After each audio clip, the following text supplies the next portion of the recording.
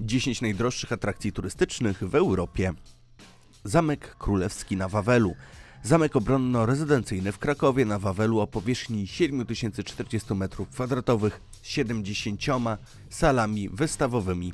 Zamek był na przestrzeni wieków wielokrotnie rozbudowywany i odnawiany. Liczne pożary, grabieże i przemarsze obcych wojsk połączone z niszczeniem rezydencji powodowały, iż obiekt wielokrotnie odbudowywano w nowych stylach architektonicznych oraz remontowano jego szatę zewnętrzną, a także przekształcono i zmieniono wygląd i wyposażenie wnętrz.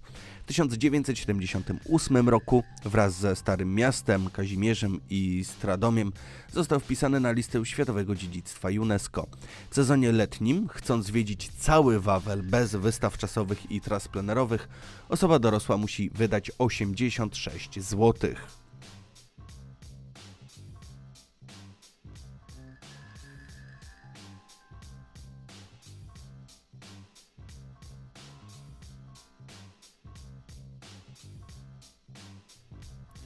Ostatnia wieczerza.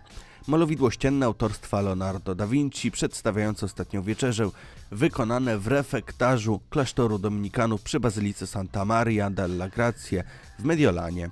Ostatnia Wieczerza podziwiana jest głównie ze względu na zachowane w niej proporcje oraz symetrię wyrażoną głębią pomieszczenia, w której wraz z Jezusem ucztują apostołowie, jak i również ze względu na naturalizm obrazu i bijącą z niego iluzję rzeczywistości.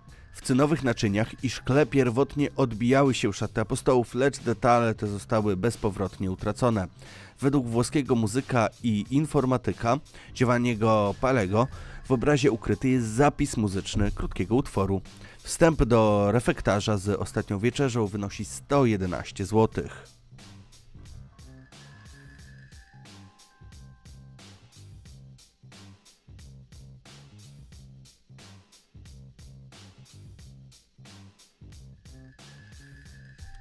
London Eye, koło obserwacyjne znajdujące się w Londynie na południowym brzegu Tamizy. Zostało zaprojektowane przez Davida Marksa. Koło ma wysokość 135 metrów, a jego pełny obrót trwa około 30 minut. Na kole znajdują się 32 klimatyzowane kapsuły pasażerskie. Niewielka prędkość liniowa tych kabin pozwala na zabieranie i wysadzanie pasażerów bez zatrzymywania koła. London Eye jest jedną z trzech budowli wybudowanych w Londynie z okazji nowego tysiąclecia. Koło budowane było sekcjami, których części transportowane były rzeką Tamizą. Otwarcia dokonał premier Tony Blair dnia 31 grudnia 1999 roku, ale ze względu na problemy techniczne koło nie działało do marca 2000 roku. Przejazd London Eye kosztuje 117 złotych.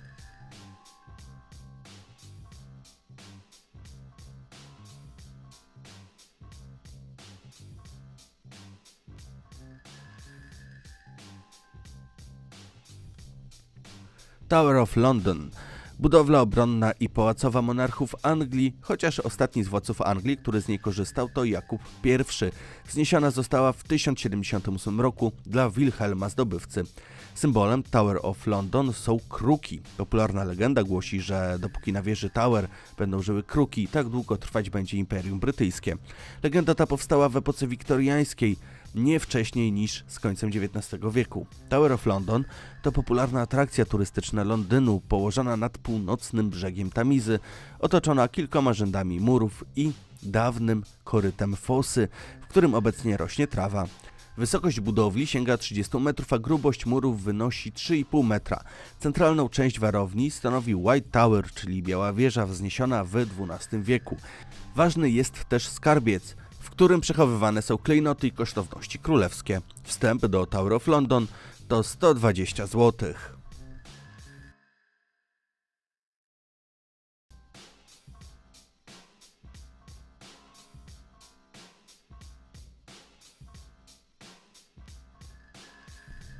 Muzeum Figur Woskowych w Londynie Muzeum Figur Woskowych znanych ludzi z rozmaitych dziedzin życia, założone w 1835 roku.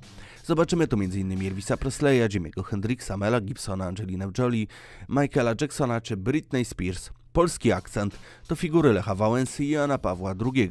Mimo, że bilety są drogie, a podobieństwo wątpliwe, to przed galerią ustawiają się najdłuższe kolejki w Londynie. Wstęp kosztuje 165 zł.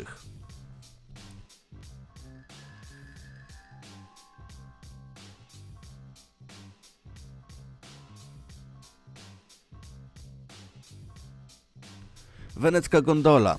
Łódź wiosłowa napędzana i kierowana przez wioślarza zwanego gondolierem, służąca tradycyjnie do przemieszczania się po kanałach miasta Wenecji, obecnie raczej w charakterze atrakcji turystycznej. W sztuce, literaturze, teatrze i filmie rozpowszechniono obraz gondoli jako miejsca nadwyraz romantycznego, którego napięcie podtrzymywał nierzadko śpiew wioślarza. Sama gondola jest symbolem Wenecji. 40-minutowa przejażdżka gondolą dla dwóch osób to koszt rzędu 170 zł.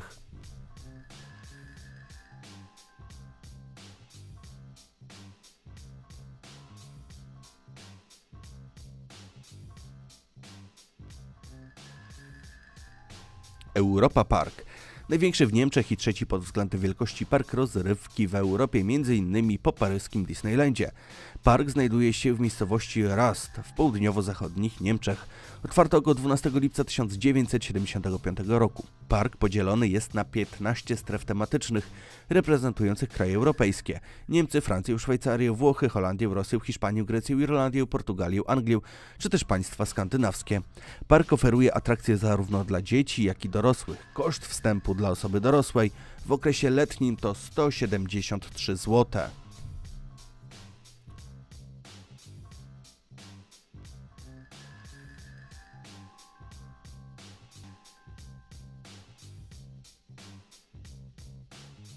Blue Lagoon, islandzkie uzdrowisko typu spa położone w obszarze geotermalnym w południowo-zachodniej Islandii na półwyspie Reykjanes, niedaleko miasta Grindavik, kilkanaście kilometrów na południe od miasta Keflavik.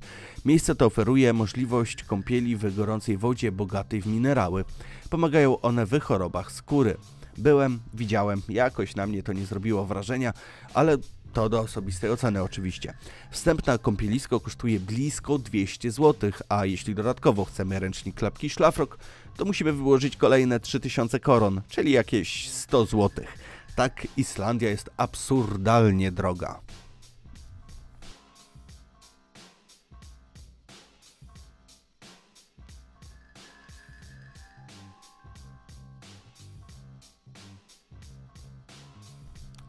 Santoryn wulkaniczna wyspa na Morzu Egejskim, tworząca z kilkoma mniejszymi wyspami należących do Grecji mały archipelag o tej samej nazwie wchodzący w skład archipelagu Cyklat. Wyspa położona jest 175 km na południowy wschód od wybrzeża Grecji i 110 km na północ od wybrzeża Krety. Santoryn jest znane z lokalnie produkowanego wina. Jest to najczęściej fotografowane miejsce w Grecji. Białe domki o niebieskich dachach położone wysoko ponad skalistym wybrzeżem Morza Egejskiego tworzą rzeczywiście pocztówkowy krajobraz. Prom z Krety na Santorian w dwie strony kosztuje 385 złotych.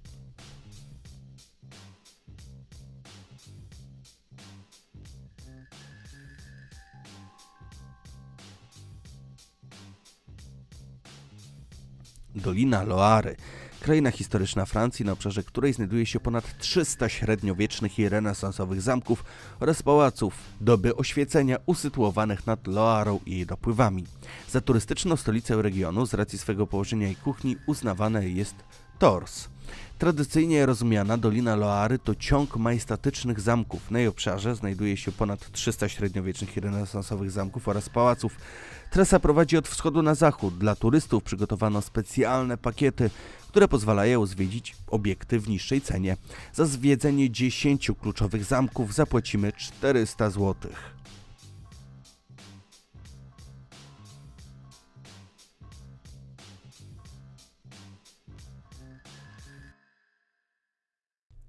Dzięki za obejrzenie do końca. Mam nadzieję, że ten odcinek Wam się podobał. Dajcie znać w komentarzu, o czym chcecie kolejną dyszkę i zapraszam Was na moje pozostałe kanały, a to ciekawe oraz światowa historia. Trzymajcie się. Cześć.